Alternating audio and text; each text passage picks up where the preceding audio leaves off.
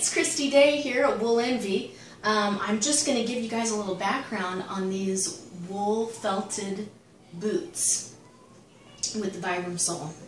So people are interested in making wool boots and I am interested in teaching people how to make wool boots and uh, facilitating that dream for your life if you'd like to do that. Um, shoemaking is incredibly fun. You're going to need a couple things. You're going to need a textured um, rolling pin. You're going to need a traditional felting tool called a ruble so that you can maximize the pressure on your rolling when you're fulling your felt. You're going to need something to spray your water. My favorite is this multi-purpose pump.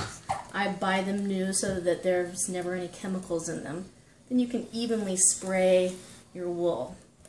If you want to save yourself some money and go a little less tech, you can simply fill water in a mason jar, poke some holes in the lid, and sprinkle your wool like that. You're also going to need some soap.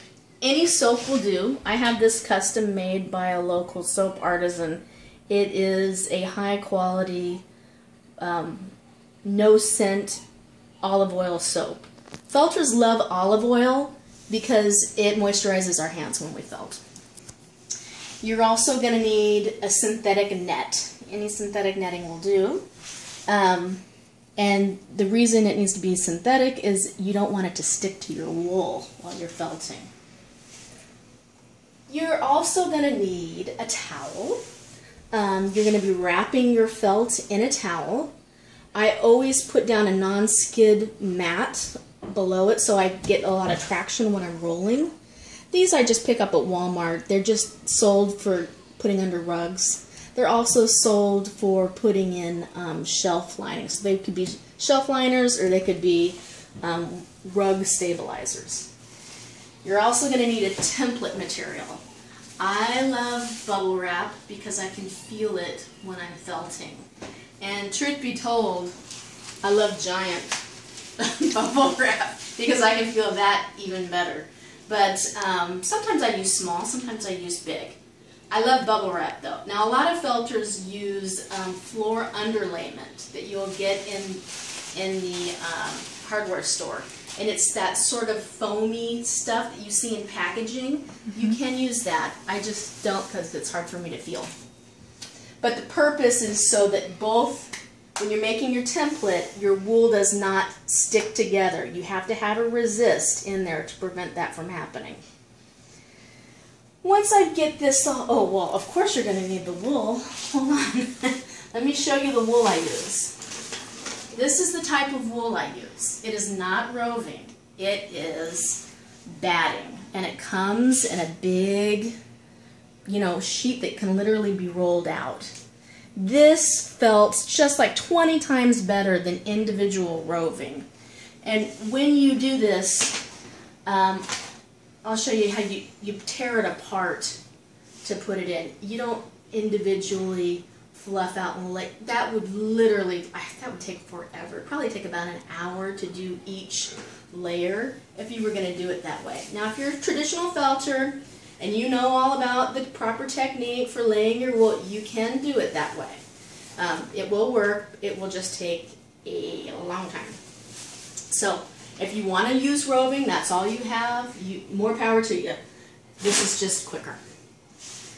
Um, then when you get, oh yeah, after you've made your template and you've felted your piece, it'll, these are actually connected together. This one's been cut out of a boot.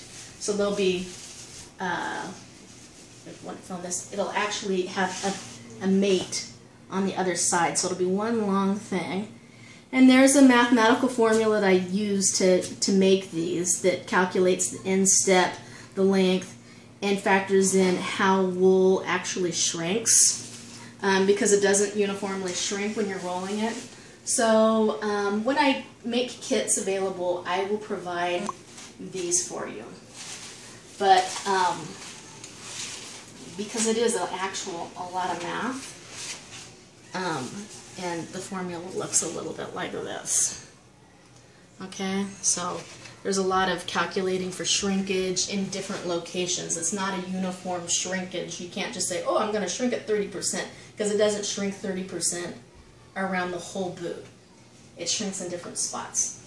So um, the other thing you're going to need at the end stage is you're going to need a foot last. Now, some people use wooden foot lasts, some people use plastic foot lasts. I actually make my own foot lasts. And I start by taking a cutout of my customer's foot or their exact measurements that they send me and I go over to my set of antique cobbler shoes and I match them up so I get the right size. But see, this is this is an antique for a boot, so it's far thinner than it than it needs to be right here. It's really for like a cowboy boot.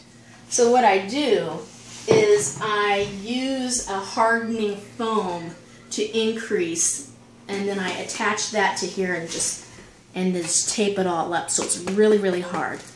But I'm in the process of actually making a very hard foam um, lasts that I'll have available for sale in my kits so that you won't have to make your own lasts. And you won't have to pay literally 30 to 92 dollars for a last. It's crazy. So I mean if you want to make a pair of, of you know shoes for a loved one I don't think you should have to pay 92 bucks to, just get one element of your kit.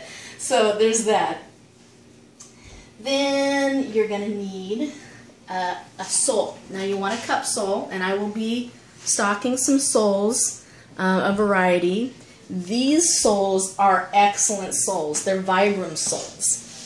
The only thing is that Vibram only makes soles size 8 to size 14 men's. So that cuts out a lot of women.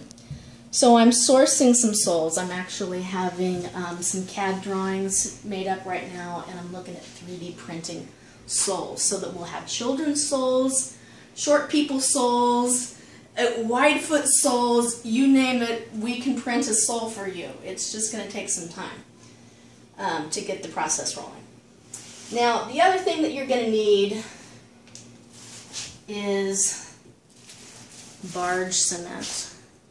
It's a little bit pricey when it comes in a big can. I think you can buy it in a smaller can. If you were going to make one pair of shoes, you would need a bottle like about this big. So I think you'd probably need about maybe two ounces of, of um, glue. But this is a weather curing glue. So as the weather changes, it just becomes stronger and stronger and stronger. So I'll teach you how to properly use it because it's not super intuitive. you wouldn't know that, but um, I had to actually do a little education on how to properly uh, let it cure up and bond. It will not work on PVC or vinyl products at all. So the right glue for the right uh, surfaces you can do, but don't go you know crazy trying to figure out some cheaper glue because it will not work. Um, the other thing I use, um, if you're going to do a lace up, oh, forgot. You're going to have to prep your soles. You, you can't just glue a sole. You're going to have to sand your sole to rough it up. And you're going to have to remove it, all oils from the sole. Um, and there's a factory coating on the sole. So all of that has to be removed before you even begin to, to attach it. So you're going to use acetone um, to remove all oils from your sole before you try to glue it. Now the reason I use cup soles is because it gives you a nice area to sew your sole on after you glue it. This way you're going to have a really, really, really secure um, sole that's going to definitely stay.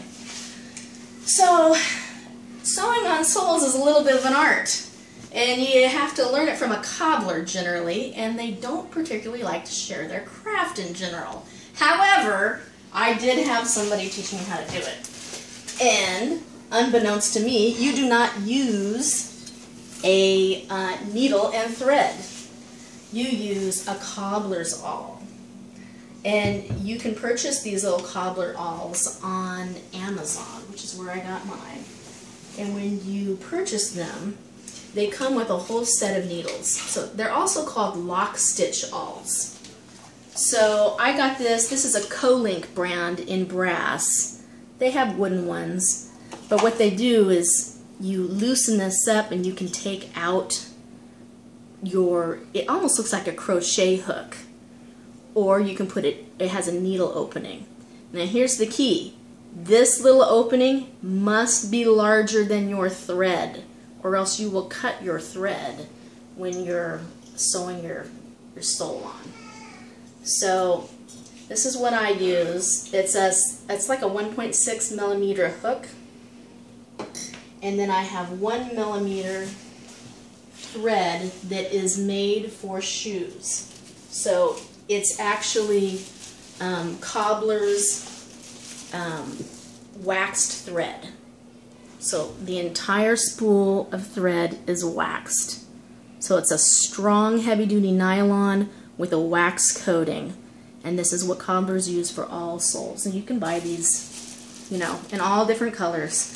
I got those on Amazon too. Now this piece of equipment, oh I forgot about this. You're also going to need a set of, of uh, really heavy duty clamps. Now you can maybe try to just stand in your boots if they're for you and weight them and what I do is I put these metal weights into the soles and I clamp them. Um, but you know you can try it without it but I always clamp them because if you clamp them the wool will, I mean the glue will set up faster um, in uh, minutes really.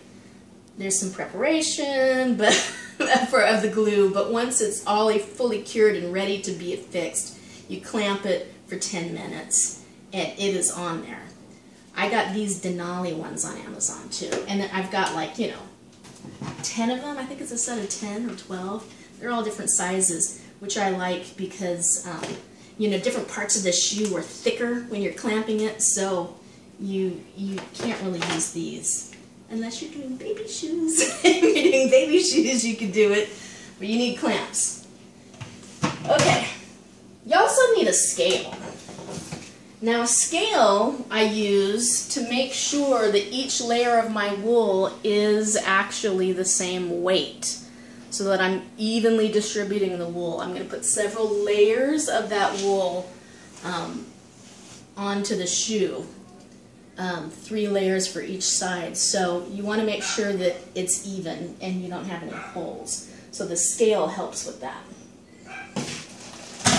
Once you finally get your shoe all felted and formed and ready and you want to put in a tongue, you're going to want to put grommets in it or you're going to want to put those boot hooks in it. To do either one, you're going to need an industrial grommet setter. Now you might say to yourself, wait a second, I don't want to spend a hundred bucks for a professional grommet setter. You could take yours to a cobbler instead and ask, you know, pay the cobbler to do it for you. Um, so you could hire a cobbler to do that for you. Um, you know, they might charge you about thirty or forty dollars to do it. Um, but you know, talk to your cobbler and see if they'd be willing to do that for you. Um, now, you say to yourself, hey, Christi, can't I just put in uh, grommets, self-piercing grommets myself with a hammer and a little thing? You could, however, I caution you, because once you've gotten to this stage, you've spent about 25 hours making your shoe. And it would be a shame to hammer it and have your and have it look like this and not stick on or stick on and be crooked. I mean, it would just kind of destroy your whole look after all that work.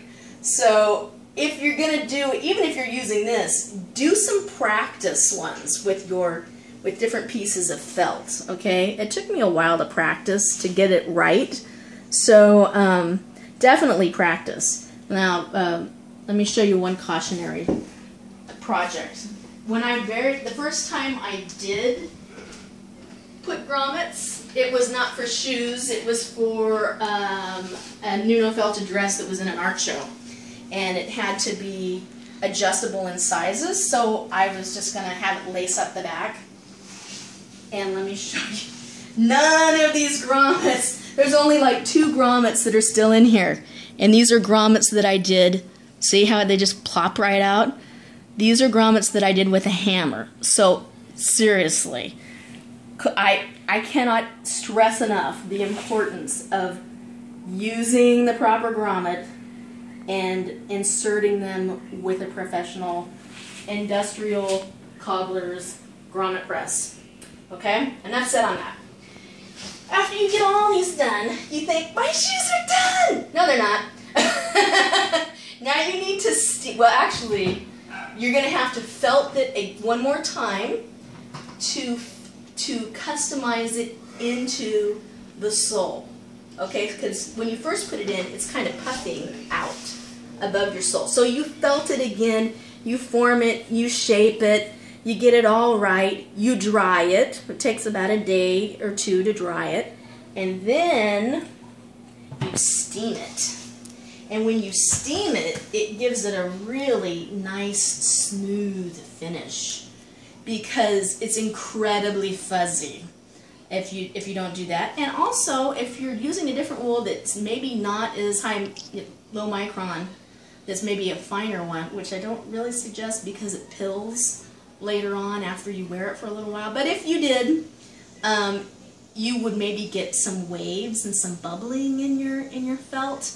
And the way to get rid of that is to steam it. So after you do all of that, in about 30 hours, you will have yourself a pair of boots. The end.